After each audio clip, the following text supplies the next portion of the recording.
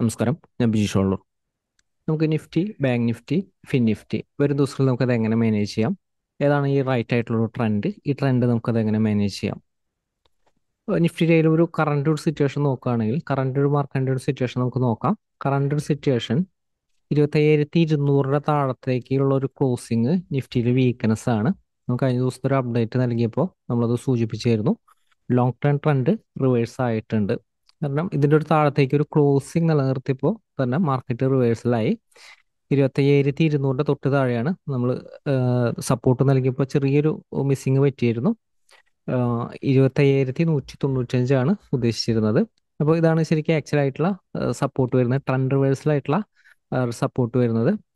അപ്പോൾ ഈ ഒരു സപ്പോർട്ട് ഒരു താഴത്തേക്ക് നിലനിർത്തിയാൽ ട്രെൻഡ് റിവേഴ്സലാണ് നമുക്കൊരു short time trend long time trend reversal എന്ന് പറയുന്ന രീതിയിൽ ഇതിനെ കാണണം മാർക്കറ്റിനെ കാണണം. കാരണം ഇതിന്റെ ഒരു താഴെ നിലനിർത്തി കഴിഞ്ഞാൽ നമ്മളത് സൂചിപ്പിച്ചിരുന്നു തൊട്ട് താഴെയുള്ള ഒരു സപ്പോർട്ട് നിലനിർത്തുമോ എന്നുള്ളൊരു കാര്യം നമുക്ക് പറയാനായിട്ട് സാധിക്കില്ല. അപ്പം അതുകൊണ്ട് തന്നെ ട്രെൻഡ് റിവേഴ്സൽ ഇതിന്റെ ഒരു താഴെ നിലനിർത്തിയാൽ ട്രെൻഡ് റിവേഴ്സായി എന്ന് പറയുന്ന ഒരു കൺസെപ്റ്റിൽ നിലനിൽക്കണം. ലോവർ ലെവൽ സപ്പോർട്ട് ചെയ്യുന്ന ഒരു ബൈ എടുക്കുന്ന ഒരു രീതിക്കല്ല ഇമ്പോർട്ടന്റ് നൽകേണ്ടത്. കാരണം ഇപ്പോഴത്തെ ഒരു മാർക്കറ്റ് സിറ്റുവേഷൻ അങ്ങനെയാണ്. നമ്മൾ മുൻ മുൻപത്തെ ദിവസങ്ങളിലായാലും നമ്മൾ എക്സാക്റ്റ് ആയിട്ട് ഈ ഒരു ലെവലിൽ ട്രെൻഡ് റിവേഴ്സ് ആയപ്പോൾ ട്രെൻഡ് നമ്മൾ എക്സാക്റ്റ് ആയിട്ട് നമ്മൾ സൂചിപ്പിച്ചിരുന്നതാണ്. അതിനുശേഷം ആയാലും മാർക്കറ്റിൽ വലിയൊരു ഫാളാണ് മാർക്കറ്റിൽ വന്നിരുന്നത്. അതിനുശേഷം ഒരു തൗസൻഡ് പോയിന്റിന്റെ ഒരു ഫാൾ മാർക്കറ്റിൽ വന്നിരുന്നു. അപ്പോൾ എപ്പോഴും ആ ഒരു റൈറ്റ് ഒരു സപ്പോർട്ട് എപ്പോഴും നമുക്ക് ശ്രദ്ധിക്കേണ്ട ഒരു കാര്യം നമുക്ക് റിവേഴ്സൽ ആകുന്ന ഒരു സമയത്ത് ഏതാണ് റിവേഴ്സൽ പോയിന്റ് എന്നുള്ളത് വളരെയധികം ഇമ്പോർട്ടന്റ് ആണ്. കാരണം മാർക്കറ്റ് റിവേഴ്സൽ ആകുന്ന ഒരു സമയത്ത് വളരെ ക്യുക്കായിട്ടായിരിക്കും ഫാൾ വരുന്നത്. ബാങ്ക് നിഫ്റ്റിയുടെ സിറ്റുവേഷൻ നോക്കുകയാണെങ്കിൽ ബാങ്ക് നിഫ്റ്റിയിലായാലും ഇവിടെ one two three four five six seven eight nine ten പത്ത് ദിവസം എടുത്തിട്ടുള്ള ഒരു മൂവ്മെന്റും പത്ത് ദിവസം എടുത്തിട്ടാണ് ഈ ഒരു മൂവ്മെന്റ് കയറിയിരിക്കുന്നത്. ജസ്റ്റ് സിംഗിൾ ഡേ കൊണ്ട് തന്നെ സിംഗിൾ ഡേ കൊണ്ട് തന്നെ ആ ഒരു മൊമെന്റത്തിനെ വൈപ്പ് ഔട്ട് ചെയ്യാനായിട്ട് സാധിച്ചു. അപ്പോൾ ഇപ്പോഴും റിവേഴ്സൽ പോയിന്റ് എന്ന് പറയുന്നത് വളരെയധികം ഇമ്പോർട്ടന്റ് ആണ്.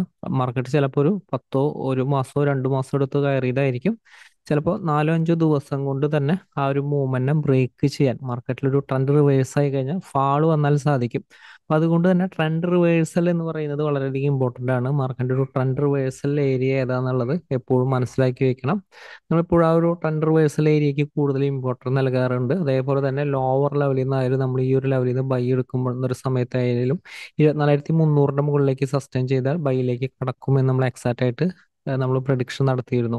ആ ഒരു ലെവലിൽ നിന്നാണ് ആ ഒരു ബൗൺസ് നടത്തിയിരുന്നത്. അതിനുശേഷം നമ്മൾ ട്രെൻഡ് റിവേഴ്സൽ ഏരിയ എന്ന് പറഞ്ഞിരിക്കുന്ന ഏരിയ ഈ ഒരു ലെവലിലാണ് എക്സിക്യൂട്ട് ആയിരിക്കുന്നത്. അപ്പോൾ കഴിഞ്ഞ ദിവസത്തെ അപ്ഡേറ്റിൽ നൽകിയിരുന്നു. റിവേഴ്സൽ ആയി എന്ന് പറഞ്ഞിട്ട് നൽകിയിരുന്നു. അതിന് ശേഷമാണ് വലിയൊരു ബിഗ് ക്യാനിൽ വലിയൊരു ഫാൾ വന്നിരിക്കുന്ന ഒരു ക്യാനിൽ വന്നിരിക്കുന്നത്. അപ്പോൾ വരും ദിവസങ്ങളായാലും നമുക്ക് ഈ ഒരു ട്രെൻഡിനെ നമുക്കത് എങ്ങനെ മാനേജ് ചെയ്യണം? നമുക്ക് നിഫ്റ്റിയുടെ സിറ്റുവേഷൻ ആണെങ്കിൽ ഇരുപത്തിനാലായിരത്തി എണ്ണൂറിന്റെ അടുത്ത് നിഫ്റ്റി എണ്ണൂറിന്റെ തൊട്ട് താഴെയാണ് സപ്പോർട്ട് എങ്കിലും നമുക്ക് ആ ഒരു സപ്പോർട്ട് ചെയ്യുന്നുള്ളൊരു ബൈക്ക് കൂടുതൽ ഇമ്പോർട്ടൻസ് നൽകാനായിട്ട് പറ്റില്ല. കാരണം എണ്ണൂറ്റി അറുപതിന്റെ മുകളിലേക്കെങ്കിലും നിഫ്റ്റി സസ്റ്റെയിൻ ചെയ്യണം. അതായത് ഇരുപത്തിനാലായിരത്തി എണ്ണൂറ്റി അറുപത് എണ്ണൂറ്റി അറുപതിന്റെ മുകളിലേക്കെങ്കിലും ഒരു ക്ലോസിംഗ് ബേസിസിൽ നിലനിർത്തിയാലാണ് മാർക്കറ്റിനൊരു വോളറ്റാലിറ്റിക്കുള്ള ഒരു സാധ്യത അടുത്തൊരു റെസിസ്റ്റൻസിന്റെ മുകളിലേക്കുള്ള ഒരു സാധ്യത. അല്ലെങ്കിൽ എണ്ണൂറ്റി അറുപതിന്റെ മുകളിലേക്ക് പോലും നിഫ്റ്റിക്ക് സസ്റ്റെയിൻ ചെയ്യാൻ പറ്റിയില്ലെങ്കിൽ നിഫ്റ്റിയിൽ ഫ്രീ ഫാളിനുള്ള ഒരു സാധ്യതയാണ് കൂടുതൽ. ക്യുക്കായിട്ടുള്ള ഒരു ഫാൾ മാർക്കറ്റിൽ വരും. ഇരുപത്തി നാലായിരത്തി ഇരുപത്തിനാലായിരത്തി അഞ്ഞൂറിന്റെ ബിലോ ആണ് ഇനി അടുത്തൊരു സപ്പോർട്ട് വരുന്നത്. അഞ്ഞൂറിന്റെ ബിലോ എന്ന് പറയുമ്പോൾ നാനൂറിനും അഞ്ഞൂറിനും ഇടയിലാണ് ഇനി ഒരു നല്ലൊരു സപ്പോർട്ട് വരുന്നത്. വരും ദിവസങ്ങളായാലും എക്സാക്റ്റ് ആയിട്ടുള്ള ലെവലുകൾ അപ്ഡേറ്റ് ചെയ്യാം. ഇതൊരു നിഫ്റ്റിയുടെ ഒരു പൊസിഷണൽ വ്യൂ ആണ് വരുന്നത്. നിഫ്റ്റി എണ്ണൂറ്റി അറുപതിന്റെ മുകളിലേക്ക് സസ്റ്റെയിൻ ചെയ്യാൻ പറ്റിയില്ലെങ്കിൽ ഇരുപത്തിനാലായിരത്തി അഞ്ഞൂറിന്റെ താഴത്തേക്ക് നിഫ്റ്റി ടെസ്റ്റ് ചെയ്യും. വളരെ ഈസി ആയിട്ട് ടെസ്റ്റ് ചെയ്യും. അപ്പോൾ അതുപോലെ തന്നെ ഇരുപത്തിനാലായിരം ഇരുപത്തി നാലായിരത്തി നാനൂറിന്റെ താഴത്തേക്ക് നിഫ്റ്റി സസ്റ്റെയിൻ ചെയ്താൽ കൂടുതൽ വീക്ക്നെസ് ആണ്. പിന്നെ അടുത്തൊരു സപ്പോർട്ട് കുറച്ചൊരു ലോങ് ആയിട്ടുള്ള ഒരു സപ്പോർട്ടുകളാണ് വരുന്നത്. ഇരുപത്തിനാലായിരത്തിന്റെ താഴെയാണ് സപ്പോർട്ട് വരുന്നത്. ടു ഫോർ ട്രിപ്പിൾ സീറോ വരെ താഴെയാണ് സപ്പോർട്ട് വരുന്നത്. അപ്പോൾ നിഫ്റ്റിനെ നമുക്ക് ലോങ് ടൈം വ്യൂവിൽ മാനേജ് ചെയ്യുമ്പോൾ ഇതേ രീതിയിൽ നിഫ്റ്റിനെ മാനേജ് ചെയ്യുക. അപ്പോൾ ഇൻ കേസ് നിഫ്റ്റി വരും ദിവസങ്ങളായാലും വീണ്ടും ഇരുപത്തിനാ ഇരുപത്തി അയ്യായിരത്തി നൂറ്റി തൊണ്ണൂറ്റഞ്ചിന്റെ മുകളിലേക്ക് സസ്റ്റെയിൻ ചെയ്യാനായിട്ട് സാധിച്ചു കഴിഞ്ഞാൽ അപ്പ് മൊമെന്റത്തിനും ഒരു സാധ്യതയുണ്ട്. ബുളിഷ് മൊമെന്റത്തിനും സാധ്യതയുണ്ട്. സെയിം സ്റ്റോപ്പ് ലോസ് തന്നെ പ്ലേസ് ചെയ്തുകൊണ്ട് ഈ ഒരു ലെവൽ തന്നെ സ്റ്റോപ്പ് ലോസ് പ്ലേസ് ചെയ്തുകൊണ്ട് ബൈയിലേക്ക് കടക്കാൻ സാധ്യതയുണ്ട്. പക്ഷേ ഇപ്പോഴത്തെ ഒരു സിറ്റുവേഷൻ ഇതിന്റെ താഴത്തേക്ക് നിലനിർത്തി കഴിഞ്ഞാൽ കൂടുതൽ വീക്ക്നെസ് ആണ്. മാർക്കറ്റിലൊരു ഹൈ പ്രോഫിറ്റ് ബുക്കിന് സാധ്യതയുണ്ട്. അപ്പോൾ അതനുസരിച്ച് മാനേജ് ചെയ്യാം. പക്ഷെ നമുക്ക് എക്സാക്റ്റ് ആയിട്ട് നിഫ്റ്റിനെ മാനേജ് ചെയ്യാനായിട്ട് നമുക്ക് ഏതാണ് റൈറ്റ് ആയിട്ടുള്ള സപ്പോർട്ട് റെസിസ്റ്റൻസ് എന്ന് നമുക്ക് നോക്കാം.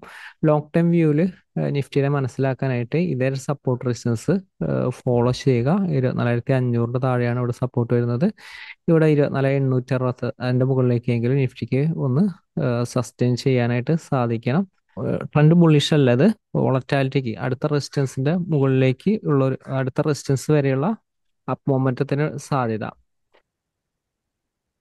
വരും ദിവസങ്ങളായാലും നിഫ്റ്റിനെ മാനേജ് ചെയ്യാനുള്ള സപ്പോർട്ട് റെസിസ്റ്റൻസ് നമുക്ക് നോക്കാം. ഇതിൽ കാണിക്കുന്ന ക്ലോസിങ് വ്യത്യാസമുണ്ട്. ഇരുപത്തിനാല് എണ്ണൂറ്റി അൻപത്തിരണ്ടാണ് ക്ലോസിങ് വരുന്നത്. ഇപ്പോൾ നിഫ്റ്റിക്കായാലും റെസിസ്റ്റൻസ് ഈ ഒരു ക്ലോസിങ് റേഞ്ചിൽ തന്നെ ഇവിടെ റെസിസ്റ്റൻസ് ഉണ്ട്. അതായത് ഇരുപത്തിനാലായിരത്തി എണ്ണൂറ്റി അൻപത്തി അഞ്ചാണ് റെസിസ്റ്റൻസ് ആയിട്ട് കാണുന്നത്. അത് അതുകൊണ്ട് തന്നെ ഈ ഒരു ലെവലിന്റെ താഴെ ഓപ്പൺ ചെയ്തതിന് ശേഷം ചെറിയ ടൈം ഫ്രെയിലെ ആൻഡ് ഓപ്പർച്യൂണിറ്റി കിട്ടിയ യൂട്ടിലൈസ് ചെയ്യാം എണ്ണൂറ്റി അഞ്ച് അതിനുശേഷം എഴുന്നൂറ്റി അൻപത്തി അഞ്ച് ഇരുപത്തിനാല് എഴുന്നൂറ്റി അൻപത്തി അഞ്ച് ഇതാണ് സ്ട്രോങ് സപ്പോർട്ട് വരുന്നത്. എഴുന്നൂറ്റി ഈ യെല്ലോ ലൈൻ കാണുന്നത് കുറച്ച് സ്ട്രോങ് സപ്പോർട്ടാണ് അതേപോലെ തന്നെ ഇൻട്രാഡയിൽ എഴുന്നൂറ്റി അമ്പത്തഞ്ചിന്റെ അടുത്താണ് കുറച്ച് നല്ല സപ്പോർട്ട് വരുന്നത്. അത് വിട്ട് കഴിഞ്ഞാൽ പിന്നെ അറുന്നൂറിന്റെ അടുത്താണ്. കുറച്ചൊരു സ്ട്രോങ് ആയിട്ടുള്ള സപ്പോർട്ട് കാണുന്നത്. അപ്പോൾ നിഫ്റ്റിയിലും ഓപ്പൺ ചെയ്യുന്നത് ഫ്ലാറ്റ് ഓപ്പണിംഗ് ആണ്. ഈ ഒരു റെസിസ്റ്റൻസിന് മുകളിലാണെങ്കിൽ ഷോർട്ട്സ് ആൻഡ് ഓപ്പർച്യൂണിറ്റിക്ക് വെയിറ്റ് ചെയ്യണം. ബൈഡ് ഓപ്പർച്യൂണിറ്റി ചെറിയ ടൈമിൽ കിട്ടിയ യൂട്ടിലൈസ് ചെയ്യാം. ഇരുപത്തിനാല് തൊള്ളായിരത്തി ഇരുപത് റെസിസ്റ്റൻസ് ഉണ്ട് ക്യുക്കായിട്ടുള്ള ഒരു പ്രോഫിറ്റ് ബുക്കിംഗ് നടത്തേണ്ടതാകുന്നു. തൊള്ളായിരത്തി ഇരുപത് അതുപോലെ തന്നെ തൊള്ളായിരത്തി നാൽപ്പത് റെസിസ്റ്റൻസ് ആണ്. അതിനുശേഷം ഇരുപത്തിനാല് തൊള്ളായിരത്തി അറുപത്തി ആറ് റെസിസ്റ്റൻസ് ആണ്. അറുപത്തി ആറ് സ്ട്രോങ് റെസിസ്റ്റൻസ് ആണ്. ഇരുപത്തിനാല് തൊള്ളായിരത്തി അറുപത്തി ആറാണ് സ്ട്രോങ് റെസിസ്റ്റൻസ് ഏരിയ തൊള്ളായിരത്തി നാൽപ്പത് അറുപത്തി ആറ് ഓപ്പൺ ചെയ്യുന്നത് ഗ്യാപ്പ് അപ്പ് ഓപ്പണിംഗ് ആണ്. ഇരുപത്തിനാല് തൊള്ളായിരത്തി ഇരുപതിന്റെ മുകളിലാണെങ്കിൽ ബൈഡ് ഓപ്പർച്യൂണിറ്റി ചെറിയ ടൈം ഫ്രീലോ വലിയ ടൈം ഫ്രീലോ കിട്ടിയ യൂട്ടിലൈസ് ചെയ്യാം. പക്ഷെ തൊള്ളായിരത്തി അറുപത്തി ആറിന്റെ മുകളിലേക്ക് സസ്റ്റെയിൻ ചെയ്യാൻ പറ്റാതെ ഷോർട്ട്സ് ആൻഡ് ഓപ്പർച്യൂണിറ്റി വന്നാൽ യൂട്ടിലൈസ് ചെയ്യാവുന്നതാണ്. നിഫ്റ്റി തന്നെ ഓപ്പൺ ചെയ്യുന്നത്. ഗ്യാപ് ഡൗൺ ഓപ്പണിംഗ് ആണ്. ഈ ഒരു സപ്പോർട്ടിന്റെ ഒരു താഴെയാണ്. എഴുന്നൂറ്റി അമ്പത്തഞ്ചിന്റെ ഒരു താഴെയാണെങ്കിൽ ചെറിയ ടൈം ഫൈലോ വലിയ ടൈം ഫൈലോ ഷോർട്ട്സ് ആൻഡ് ഓപ്പർച്യൂണിറ്റി കിട്ടിയാൽ യൂട്ടിലൈസ് ചെയ്യാം. ക്യുക്കായിട്ടുള്ള ഒരു ഫാൾ മാർക്കറ്റിൽ കിട്ടും. എഴുന്നൂറ്റി ഇരുപത്തഞ്ച് സപ്പോർട്ടും കൂടി ബ്രേക്ക് ചെയ്താൽ അറുന്നൂറ്റി അൻപത്തഞ്ചാണ് സപ്പോർട്ട് ആ ഒരു സപ്പോർട്ടും ബ്രേക്ക് ചെയ്താൽ അറുന്നൂറ്റി അറുപതാണ് സപ്പോർട്ട് അതുപോലെ തന്നെ ഓപ്പൺ ചെയ്യുന്നത് ഗ്യാപ് ഡൗൺ ഓപ്പണിംഗ് ആണ്. സപ്പോർട്ടിലാണെങ്കിൽ ബൈക്കാണ് കൂടുതൽ ഇമ്പോർട്ടന്റ് നൽകേണ്ടത് എഴുന്നൂറ്റി അമ്പത്തഞ്ച് സപ്പോർട്ട് ഹോൾഡ് ചെയ്ത് നിലനിൽക്കുന്നുണ്ടെങ്കിൽ ബൈർ ഓപ്പർച്യൂണിറ്റി യൂട്ടിലൈസ് ചെയ്യാവുന്നതാണ്. എണ്ണൂറ്റി അഞ്ചിന്റെ അടുത്താണ് റെസിസ്റ്റൻസ് വരുന്നത്. അതിനുശേഷം റെസിസ്റ്റൻസ് ഇരുപത്തിനാല് എണ്ണൂറ്റി അൻപത്തഞ്ച് ഗ്യാപ് ഡൗൺ ഓപ്പണിംഗ് ആണെങ്കിൽ ഇരുപത്തിനാല് എണ്ണൂറ്റി അൻപത്തഞ്ച് സ്ട്രോങ് ആയിട്ടുള്ള റെസിസ്റ്റൻസ് ആയിട്ട് ആക്ട് ചെയ്യും. അപ്പോൾ നിഫ്റ്റിയിലും ഇത്തരം സപ്പോർട്ട് അനുസരിച്ച് മാനേജ് ചെയ്യുക. എക്സാക്റ്റ് ആയിട്ടുള്ള ഒരു ട്രെൻഡിൽ നിലനിൽക്കാനായിട്ട് സാധിക്കും. ഇരുപത്തിനാല് അറുന്നൂറ്റി അറുപത് വിട്ട് കഴിഞ്ഞാൽ അറുന്നൂറ്റി അഞ്ചാണ് സപ്പോർട്ട് അതിനുശേഷം അഞ്ഞൂറ്റി അൻപത്തഞ്ച് ഹോൾഡ് ചെയ്ത് അറുന്നൂറ്റി അഞ്ചിന്റെ മുകളിലേക്ക് സസ്റ്റെയിൻ ചെയ്ത ബൈര ഓപ്പർച്യൂണിറ്റി യൂട്ടിലൈസ് ചെയ്യാമെന്ന് പറയുന്ന രീതിയിൽ എപ്പോഴും ട്രേഡും പ്ലാൻ ചെയ്യുക. ഇപ്പോൾ നിഫ്റ്റിയിൽ ഇത്ര സപ്പോർട്ട് റെസിസ്റ്റൻസ് അനുസരിച്ച് മാനേജ് ചെയ്യുക. എക്സാക്റ്റ് ആയിട്ടുള്ള ട്രെൻഡിൽ നിലനിൽക്കാനായിട്ട് സാധിക്കും. ബൈർ ഓപ്പർച്യൂണിറ്റി ആയാലും റൈറ്റ് ആയിട്ടുള്ള ഒരു ബൈർ ഓപ്പർച്യൂണിറ്റി റൈറ്റ് ആയിട്ടുള്ള സപ്പോർട്ട് റേസൻസ് അനുസരിച്ച് കിട്ടിയാൽ മാത്രം യൂട്ടിലൈസ് ചെയ്യുക. കാരണം മാർക്കറ്റിന്റെ ഒരു ട്രെൻഡ് വീക്ക്നെസ് ആണ്. പക്ഷെ മാർക്കറ്റ് വോളറ്റാലിറ്റി ഉണ്ട്. അപ്പോൾ അതുകൊണ്ട് തന്നെ ഒരു സപ്പോർട്ടിൽ നിന്നൊക്കെ ഉള്ളൊരു ബൗൺസ് ഒക്കെ മാർക്കറ്റിൽ കിട്ടും. ഇൻട്രഡയിൽ ക്യുക്കായിട്ടുള്ള ഒരു പ്രോഫിറ്റ് ബുക്കിംഗ് നടത്തി ഫാസ്റ്റ് ആയിട്ട് മാറി നിൽക്കേണ്ടതാണ്. നിഫ്റ്റി ഇത്ര സപ്പോർട്ട് അനുസരിച്ച് മാനേജ് ചെയ്ത് എക്സാക്റ്റ് ആയിട്ടുള്ള ട്രെൻഡ് നിലനിൽക്കാനായിട്ട് സാധിക്കും. നമുക്ക് ബാങ്ക് നിഫ്റ്റിയുടെ സിറ്റുവേഷൻ നോക്കാം. ബാങ്ക് നിഫ്റ്റിയുടെ സിറ്റുവേഷൻ ആയാലും നമുക്ക് കഴിഞ്ഞ ദിവസം നൽകിയിരിക്കുന്ന സപ്പോർട്ടിന്റെ ഒരു താഴത്തേക്ക് ക്ലോസ് ചെയ്തിരിക്കുകയാണ്. വീക്ക്നെസ് ആണ്. പ്രോഫിറ്റ് ബുക്കിന് തന്നെയാണ് സാധ്യത വരുന്നത്. പക്ഷെ റൈറ്റ് ആയിട്ടുള്ള ഒരു സപ്പോർട്ട് റീസൺസ് എവിടെയാണ് നമുക്ക് നോക്കാം. ഇരുന്നൂറ്റി എൺപത്തെട്ടാണ് അൻപത് ഇരുന്നൂറ്റി എൺപത്തെട്ടാണ് സപ്പോർട്ട് വരുന്നത്. ഗ്യാപ് ഡൗൺ ഓപ്പണിംഗ് ആണ്. ഈ ഒരു സപ്പോർട്ട് ഒരു താഴെയാണെങ്കിൽ ക്വിക്ക് ആയിട്ടുള്ള ഒരു ഫാൾ ആയിരിക്കും മാർക്കറ്റിൽ വരുന്നത്. ചെറിയ ടൈം ഫ്രെയിലോ വലിയ ടൈം ഫ്രെയിലോ ഷോർട്ട്സ് ആൻഡ് ഓപ്പർച്യൂണിറ്റി യൂട്ടിലൈസ് ചെയ്യാം.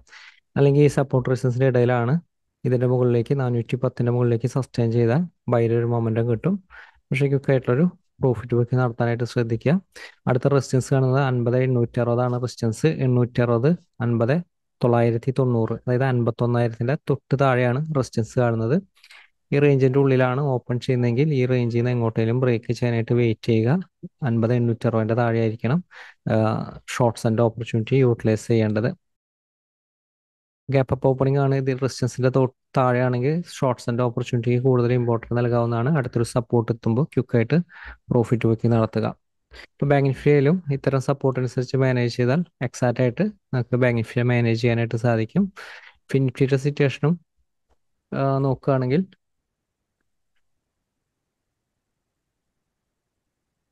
ഫിനിഫ്റ്റി സിറ്റുവേഷനും ഹയർ ലെവലിൽ നിന്നുള്ള ആ ഒരു പ്രോഫിറ്റ് ബുക്കിംഗ് സ്റ്റാർട്ട് ചെയ്തിട്ടുണ്ട്. അപ്പോൾ ഫിനിഫ്റ്റിയായാലും വരും ദിവസങ്ങളിൽ മാനേജ് ചെയ്യാനുള്ള റൈറ്റ് സപ്പോർട്ട് റീസൺസ് ഏതാണെന്ന് നമുക്ക് നോക്കാം. ഫിനിഫ്റ്റിയുടെ ഇനി അടുത്ത നല്ല സപ്പോർട്ട് കാണുന്നത് ഇരുപത്തി മൂവായിരത്തി ഇരുന്നൂറിന്റെ താഴെയാണ്.